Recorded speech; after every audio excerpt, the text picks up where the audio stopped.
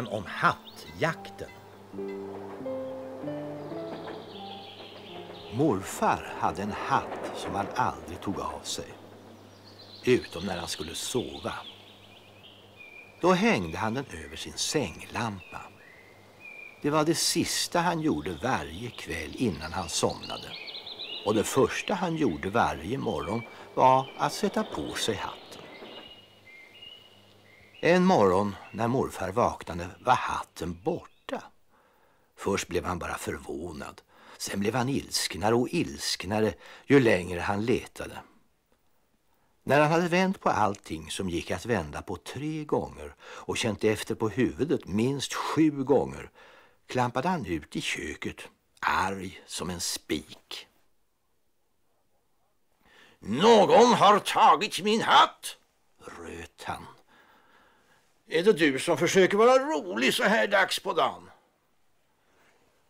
Morfars hund Blixten låg och sov på köksbordet.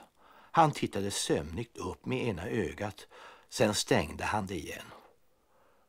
Jag skämtar aldrig före middag, det borde du veta, sa han.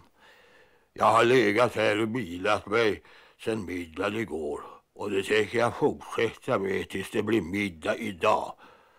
Jaha, du är allt en fin vakthund du, skällde morfar. Här har varit inbrott i natt. Banditer och gangstrar har stulit min hatt.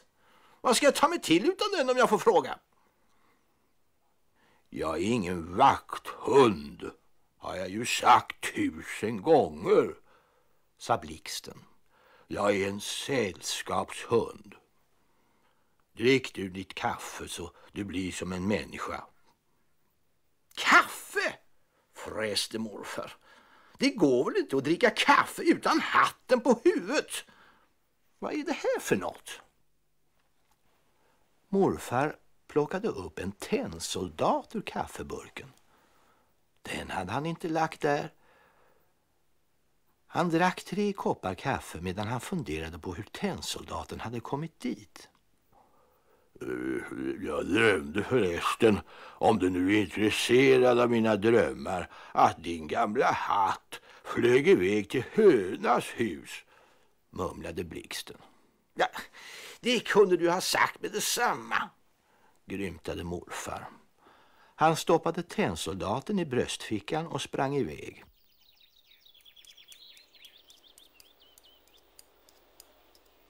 Med ivriga kliv stegade morfar iväg till hönas hus.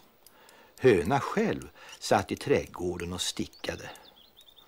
God dag, höna, sa morfar. Jag är här för att leta efter min hatt. Tjuvar har nämligen tagit min hatt i natt. Har du sett något?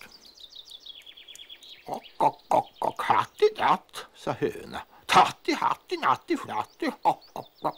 Jag förstår inte vad du talar om.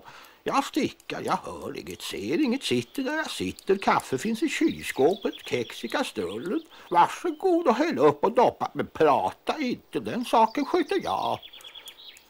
Medan höna pratade tog morfar en kopp kaffe och ett chokladkex. När han bet i kexet upptäckte han att det låg en halv klockkedja i chokladen. Han skulle just fråga hönan varför du gjorde det när hon sa kock, kock, Fråga någon i gamla ladan om Hattinattin. Någon vet mer än man tror. Någon håller nog reda på hattar. Morfar stoppade på sig klockkedjan och gick genast iväg till gamla ladan.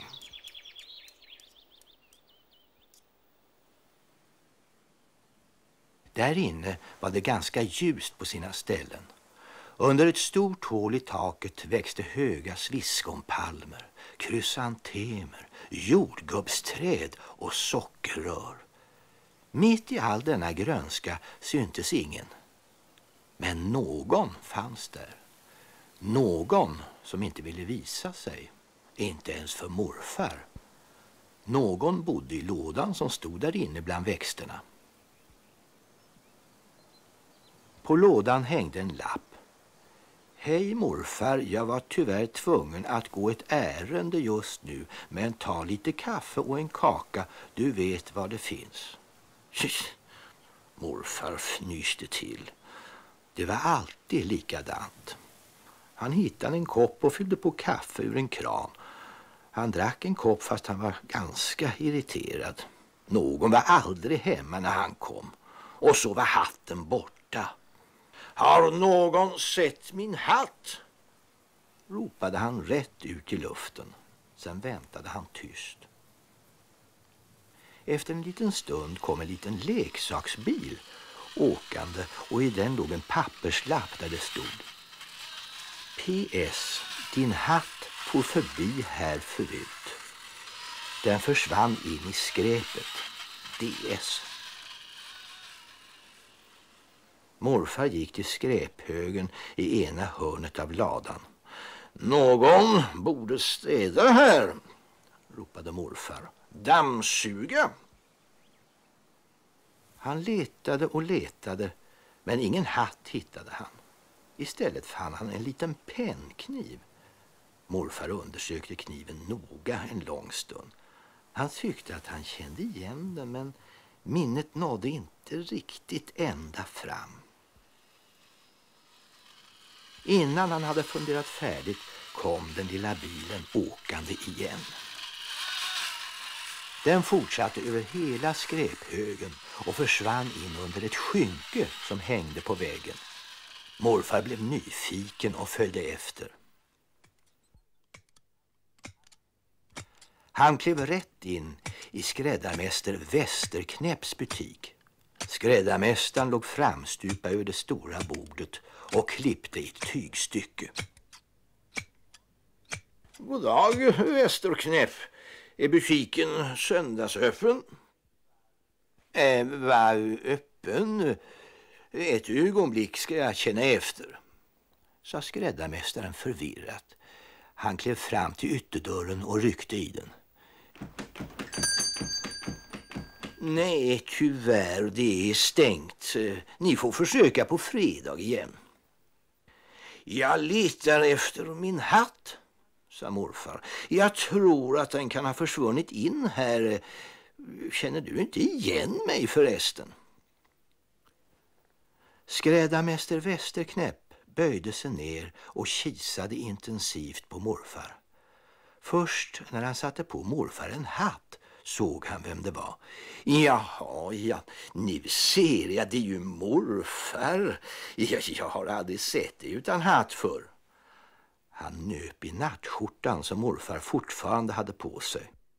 Har du varit in och provat en ny klänning? Ja, vad trevligt, den sitter väl bra. 69 kronor kostar den, men du kan få den för 13 kronor jämt.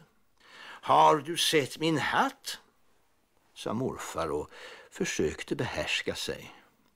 Ja, sa Västerknäpp glatt. Den är mycket vacker. Precis en sån hatt hade jag aldrig sett så elegant för. Varför har du inte den på dig? Den har ju försvunnit! skrek morfar. Skrik inte min gode man, jag är inte blind. Vill du ha kaffe? Ja tack, suckade morfar och satte sig tungt ner på en pall. Skräddarmäster Västerknäpp ställde fram ett fat och en termos till morfar. Ta själv, jag har minsann annat att göra, sa han och ställde sig vid dörren. När morfar hällde upp kaffet trillade en liten magnet ur termosen. Han plockade upp den. En sån hade han nog haft en gång för länge sedan. Det var han ganska säker på. Det låg en magnet i kaffet, sa han. Usch då, magneter är otrevliga djur. Släng bort den så att du inte bränner det på tungan, sa skräddarmästaren. Det är väl underligt, fortsatte han fundersamt. Din hatt som du inte har på dig, den flyger där ute på låg höjd som en uggla. Varför? Brukar den göra så? Morfar for upp. Vad säger du? Var är den? Den svängde ner där bakom planket, sa Västerknäpp. Tänk vad de kan nu för tiden, flyga vart de vill. Morfar struttade iväg mot planket. Väl framme stannade han och pustade. Kom och köp jättemånga saker, fina fina, inte särskilt dyrt, bara jättebilligt. Ropade det rätt i örat på morfar så att han hoppade till. Där stod en kanin och sålde småsaker från ett stånd. Gisses vad rädd jag blev, sa morfar. Inte farligt, bara tuta och kör. Kaniner bits inte så mycket. Har du sett min hatt flyga förbi? frågade morfar. Inga hattar idag, nej tyvärr, sa Kanini. Imorgon får vi in nya fina, men här finns mycket annat. Varsågod, komma fram och titta, titta, titta så många saker. Jättebilligt. Där fanns nyckelringar och udda strumpor och skorpsmular och suddgummin och metkrokar och mössavdragare och gamla tipskuponger och darriga gummiskelett och allt möjligt. Fem kronor styck, tusenlapp för allt. Bara prima vara, äkta plastik och metallic. Det var mycket skräp på en gång, sa morfar. Har ni inga motorcyklar?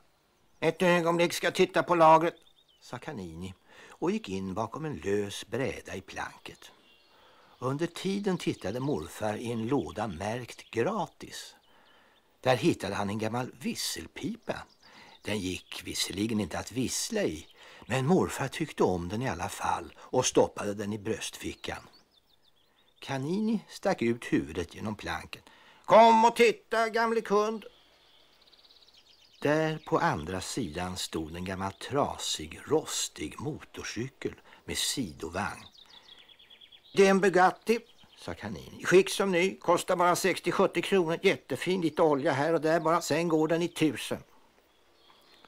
Det tror jag så mycket jag vill, sa morfar och satte sig i sidovagnen.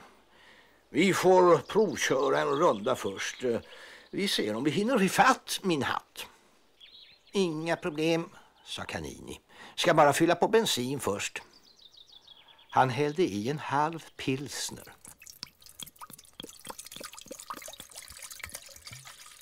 Sen vred han på allt som gick att vrida på och försökte starta.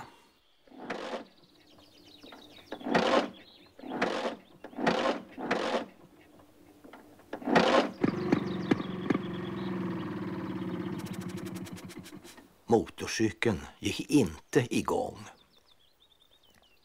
Det här fixar jag, sa morfar. Är det någonting jag förstår mig på så är det motorcyklar. Ge mig en skiftnyckel och en hammare bara så ordnar det sig. Det är säkert bara cylindrarna som har böjt sig. Nu hade han blivit på riktigt gott humör.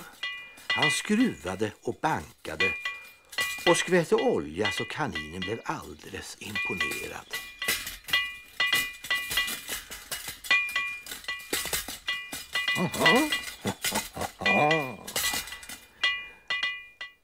Nu försöker vi igen.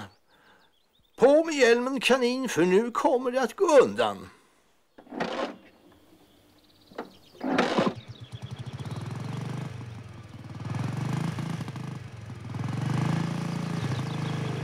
Det gick. Det for iväg som Gutta Perka, tog ett skutt över planket och sladdade in på en liten väg.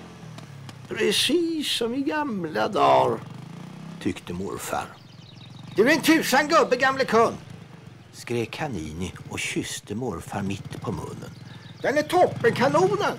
Jag höjer priset till 85 kronor. Ska jag lägga in tvåa?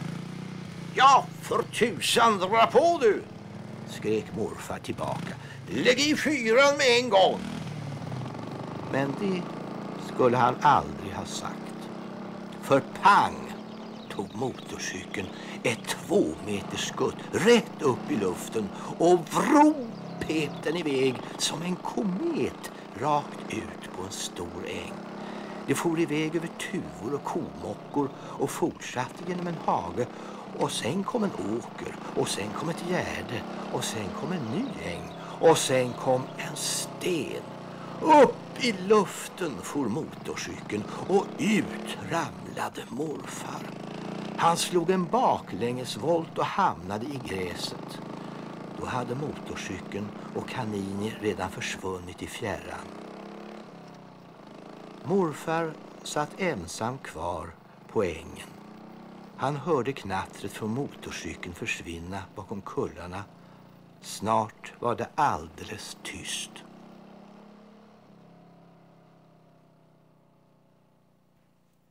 Det blev väldigt tyst faktiskt. Morfar tyckte att han kunde höra den varma luften stiga upp från marken. Ängar och skogar låg och solade sig i det glittrande sommarljuset. Allt var stilla. Morfar kände sig trött. Den där gamla hatten får jag väl aldrig se igen, tänkte han. Men vad spelar det för roll egentligen? Då kom han att tänka på de fem små sakerna han hade hittat under hattjakten. Varför tyckte han att de verkade så bekanta?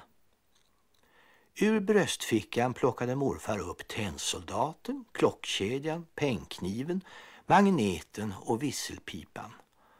Han la dem på en sten. Nu såg han. Först nu, när de låg där tillsammans, kom han ihåg alldeles just exakt precis de här fem sakerna hade han haft i sin ficka för länge, länge sedan.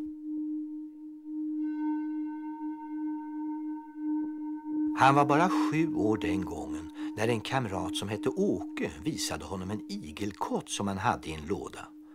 Den ville lille morfar ha om han så skulle ge allt han ägde, men det var inte så mycket. Får jag köpa den? hade morfar frågat. Ja, vad har du då? sa Åke. Då hade morfar radat upp tennsoldaten, den halva klockkedjan, pennkniven, magneten och visselpipan. Sen hade det varit tyst en lång stund. Det var just detta ögonblick som nu stod alldeles stilla och klart i morfars minne. De fem sakerna, lådan med igelkotten, Åkes händer som släppte lådan och plockade upp tennsoldaten, tystnaden.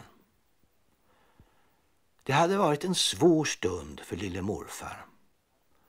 Han skulle lämna ifrån sig sina fem käraste egodelar, men han skulle få en igelkott istället som han kunde ge mjölk varenda dag.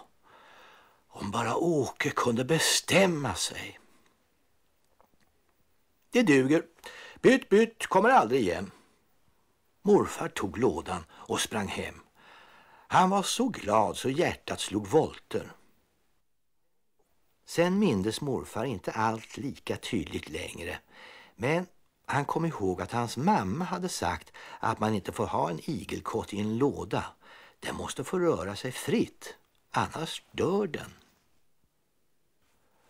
Så han släppte ut den i gamla farmors trädgård och gav den mjölk så fort den kom ut så att den skulle veta var den hörde hemma.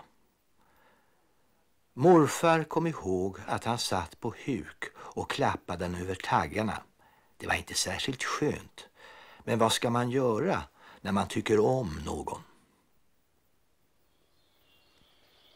Där satt nu morfar, en liten gubbe på en stor sommaräng och mindes hur det var när han var sju år och hade en igelkott och en gamla farmor och en mamma och en pappa och fem syskon. Några minnen hade han haft förut, men nu mindes han mycket mer. Och allt detta hade han fått tillbaka bara för att hans gamla hatt rymde sin väg. Fastän morfar hade sett mycket i sina dagar förstod han inte hur något sånt kunde hända. Morfar gick hem, hatten brydde han sig inte om längre. Men de fem små sakerna, la han på sekretären i stora rummet. Sen letade han upp en gammal hatt i garderoben. Den här kan jag kanske ha, tänkte han. Nej förresten, inte behöver jag ha hatt bara för att jag är en gammal gubbe. Än är det mycket kvar av sommaren. Tids nog blir det tid för hattar. Wow!